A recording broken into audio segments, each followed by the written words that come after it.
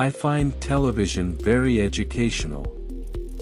Every time someone turns it on, I go in the other room and read a book. Groucho Marx